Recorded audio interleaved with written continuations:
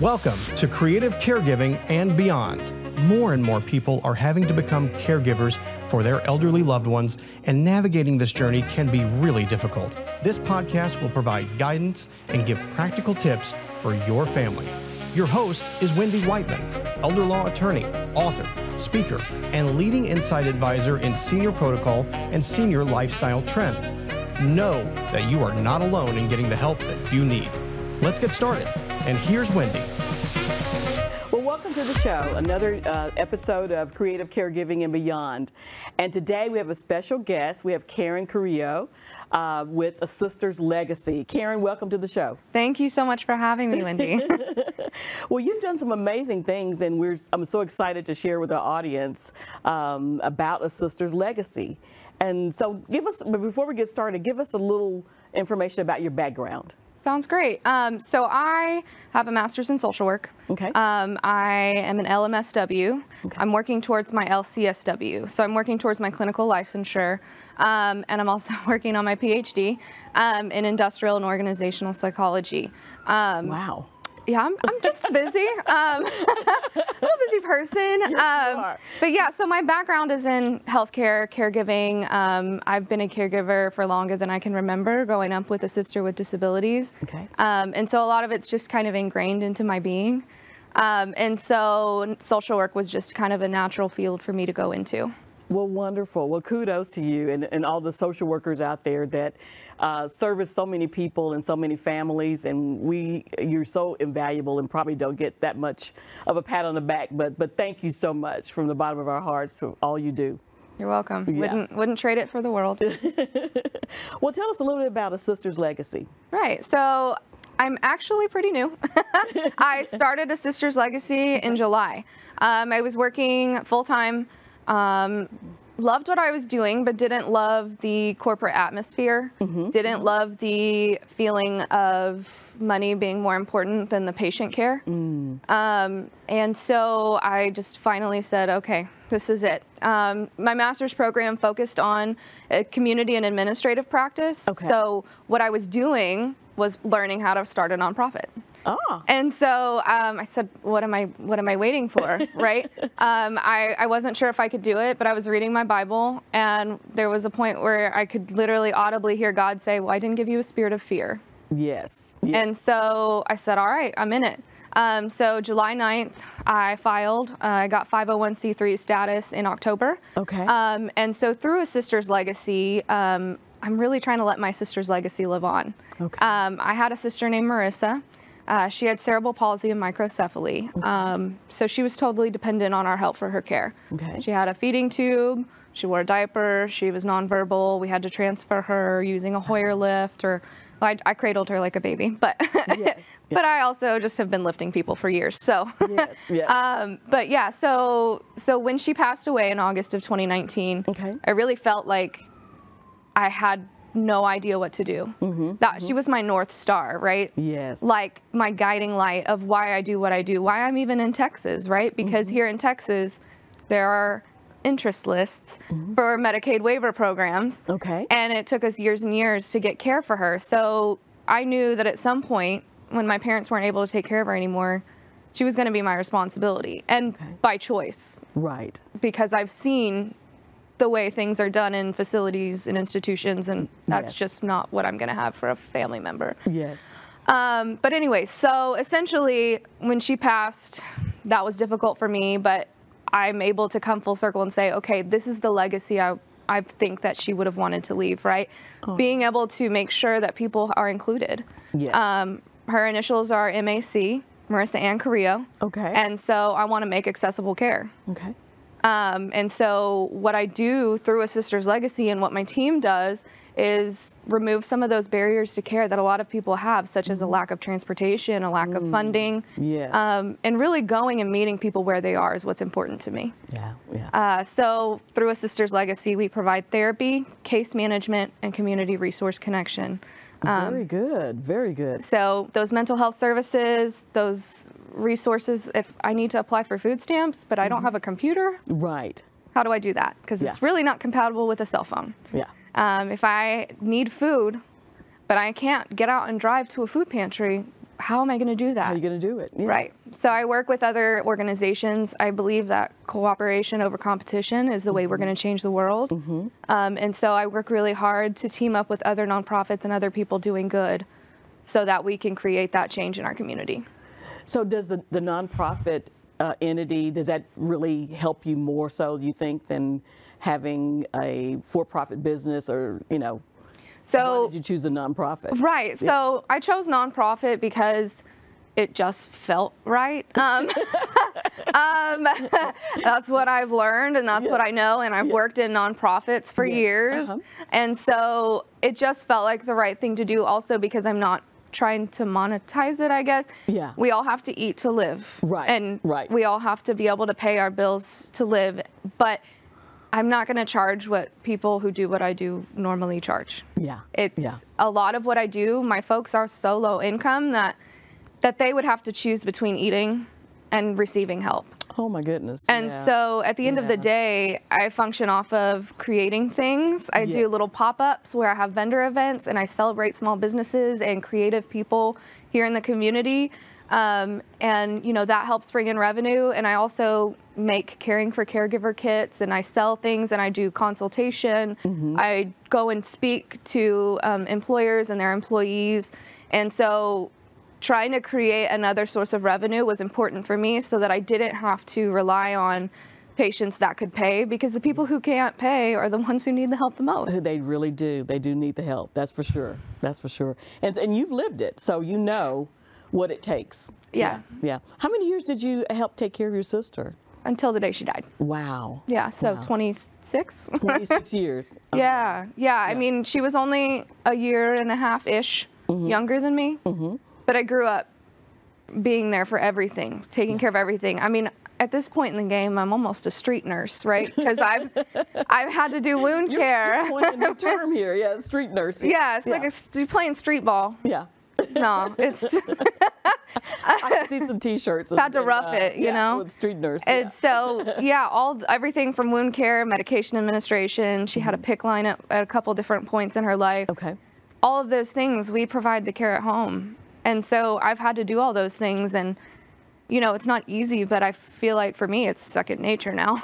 right. Right. but being able to be on that side of things, I feel mm-hmm. like it gives me a different perspective. Mm-hmm, mm-hmm. Um, you know, like I have families sometimes that will call me and have me come in to consult. So my loved one is aging Yes. and they want to stay in their home, but we don't really know how to go about doing that. Is this a safe space? What do you think about cameras? How do we handle, you know, caregivers coming in? What do we train them on? How do we know if they've already been trained? yes. And so going in and providing services like that, I, I just have a unique perspective because not only have I seen it from the professional side of, you know, running home care companies Right. and hiring, training, scheduling, but I've also seen it from the perspective of you're coming in my house. Right. It's weird Exactly. having someone Yeah. in your home. Yeah. When my grandmother lived with us after she um, had her stroke, she was living with my husband and I, and my husband was like, "All these people are in our house. Yes. Yes. As long as no one steals my Xbox, I'll be fine. I think you're, I think you're good." You're absolutely right. Yeah, and I, I, I totally can relate to that because uh, with my mom, we have caregivers, you know, in round the clock, and so it's you have people in your home. And it's a lot of trust. Yeah, it's a lot of trust, a lot of trust, and and knowing how to vet them and that type of thing, and uh, just uh, it's it's really interesting. Can be a a, a, journey. So, well, how do you find the people that need help? How do they how do they find you? When do they find me? They, They just find find me. I feel like God just leads them to my doorstep. No, um, um, I, I work with a lot of other, um, like I said, other nonprofits, other people in the senior care industry, healthcare industry. Okay. and people just connect and and it's been such a an interesting thing to see like in the last seven months i think um, it was like july to Feb, you know last Yeah. seven-ish months people have just appeared and Wow. and said you know hey i know this person they need your help Yes, or i have this client um, who i help with medicare but i see she has other needs can you do something for her so um, whenever people connect with me, you know, I, I, talk on the phone, let them know, hey, let's connect. Mm-hmm. And I go and I do a home assessment. Okay. Right? So whoever I'm working with, I go to their home, I meet them where they are, and I want to find out, you know, is their home accessible? Mm-hmm. Do they mm. have additional needs? Mm-hmm. Um, are they having the proper support from the people that are already in place? Right. Um, and so sometimes it just takes an extra set of eyes and, mm-hmm. a, and an open set of ears. Yeah. Um, and then other times it takes a little bit of, you know, nose to the grindstone and finding resources mm-hmm. that can be of assistance. Yeah. Well, do you actually offer training as well if, if you go in and they're, they're, they're family members that are there but they don't know what to do is that like a training process for them too so I, that can be a, that's kind of a part of like the consulting that i do right okay. so okay. i can come through and then also come up with suggestions okay um, to assist the family uh-huh. um, for that holistic care of their loved one. Okay. And then, you know, should they want additional help, I'm able to provide that. I also have a team of uh, interns that are working on social work program, social oh, work degrees, yeah. and then you know volunteers that are the backbone of everything we that do. That is so true. That is so true. They they are above the and beyond. So they need a certain amount of clinical hours, or I'm not sure if that's the same yes. in the, the social work profession yes, or not. we have to have a lot. Yeah. And we don't get paid for them. and so I'm happy to give them the training they're looking for. Whenever people are looking for a real social work internship, yeah, they're going to get one with me. Yeah. Very good. Very good. Well, I bet it's. Do you actually get to see um, uh, the, re, the rewards, or I'm, I'm, sure it's very rewarding to see the the benefit uh, of your consultation and your services with the family. You, have you had a chance to kind of see it from beginning to end? I've had a couple where I've already, you know, it was more of a short term need, yeah. um, but there is always a reward. Mm-hmm. Um, and it's you know generally not monetary in my field. Yeah. But knowing that i'm able to make that difference and again with my sister's legacy yes. letting that live on to me that's everything. Yes. um, she was everything. Yeah. Right? She's why i'm a social worker. Yeah. she's why i have the ability to connect with people on a level that is almost unheard of sometimes. Yes. Yeah. um, and so being able to build those relationships mm-hmm. everything i do is relational Okay. Right. I am more about quality than quantity. Yes. Because at the end of the day, I don't have to meet any quotas. Right. And that's, that's one of the reasons why I've done yeah. what I've done. Yeah. Because I don't have to answer to anyone when it comes to, oh, you haven't seen enough people today. Oh, we haven't discharged enough patients. Mm-hmm, mm-hmm. I don't give a single whoop about that. because at the end of the day, my people are what matter, right? right and if exactly. you're investing in people, right. you're never losing out. That's awesome because you get to see those measurable results right. from your impact of, of stepping in there and helping them from the heart.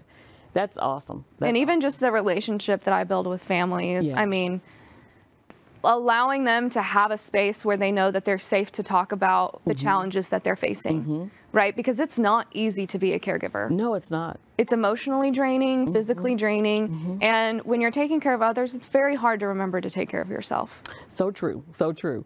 And it's um, just to know that someone's there to even talk to about it, who mm-hmm. truly understands. I'm sure that it goes so far with the families and the people you're helping because you you tend to feel like you're isolated. Yes. And you're it's only happening to you, you know, mm-hmm. and uh, no one understands that I'm what I've I've been up half the night.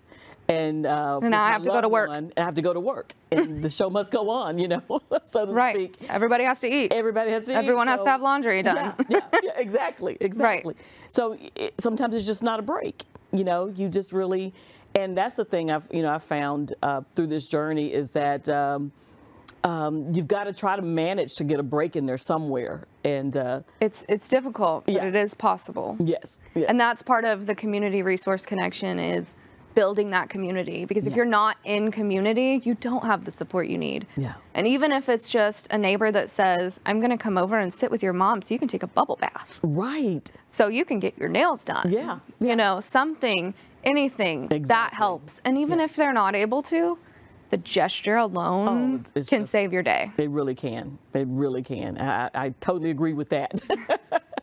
so obviously there's a need because you've seen the, the, the outpouring uh, just since you started your nonprofit. Yeah. And uh, so what can we do? What can anyone do to help? Right. So I'm like, do you want it alphabetically or by level of need? Or um, there are so many things people can do to help, right? And it's not just me, Mm-hmm. right? If you know somebody or you have someone in your family Mm-hmm. taking care of a loved one, just reach out.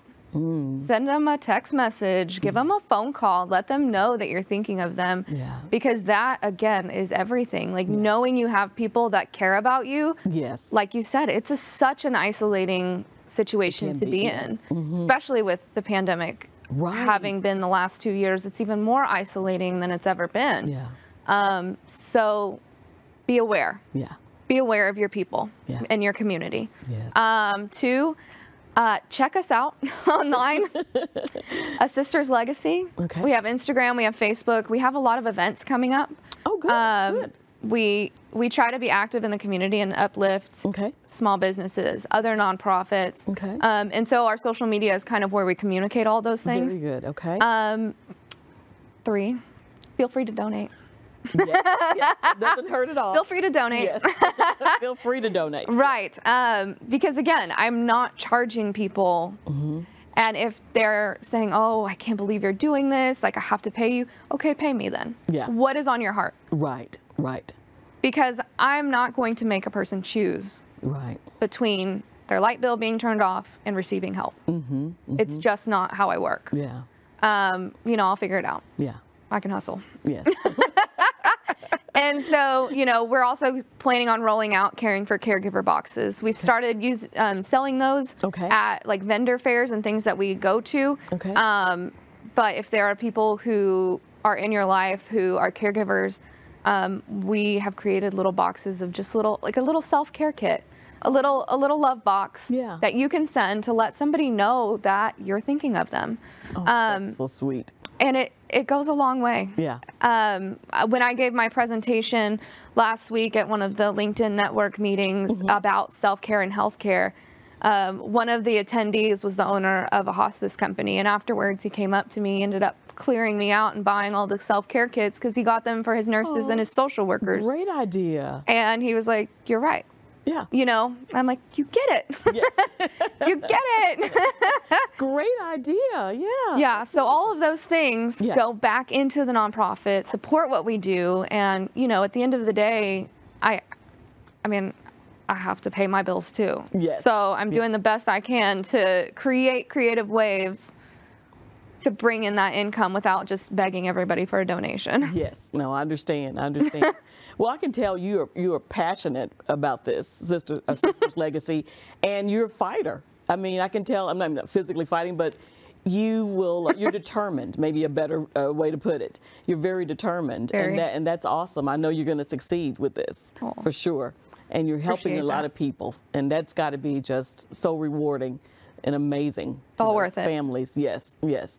So if someone wants to get in contact with you and support, and I encourage you to, to donate to a Sister's Legacy, especially even if you've been in a caregiving situation, but you're no longer, maybe your loved one passed on, and you absolutely know uh, Right. what we're talking about. I mean, that would be a great tribute to your loved one and a legacy to your loved one uh, to donate to a sister's legacy. So uh, definitely do that. But how would they get in contact? What is your website? So our website is www.asisterslegacy.org. Okay. Um, there is a little drop down. It says donate. Okay. Click on that. Very good. It'll very take you to Venmo. It'll give you the email address Okay. for Zelle, and then there's also a PayPal option. Awesome. Awesome. Very good. Well, thank you so much for coming on the show. Do you have any closing thoughts that you want to um, give us? I know you've poured out a lot of information already, and me? very good information. but anything else you want to leave with our audience? Well, I do want to say thank you for the opportunity. Oh, thank Um, you. I, I feel very honored that people are are willing to put my name out there as someone that's contributing. Mm-hmm. Yes. So I appreciate that. Also, I want to thank you for writing your book. Oh, um, I've already recommended it to a couple of my clients. well, thank you. um, because it's just a great resource um, of, of things that need to be in order and Yes. what that can look like. Um, but also, just want to say thank you all for tuning in. Um, I want to do everything I can to honor my sister's legacy. Um, Marissa was a beautiful person. She may not have been able to speak, with her mouth um, and her voice, but the way that she communicated her love for us and her love for the world is something that I think needs to live on. So Awesome. thank you. Awesome. Boy, you have a big heart, and, and thank you for all you do. Yes, ma'am. Thank you. Well, thank you for tuning in for another episode of Creative Caregiving and Beyond. Don't forget to like us and subscribe to us, and we'll see you again soon. And reach out to a senior or someone who needs help, and you just might brighten their day.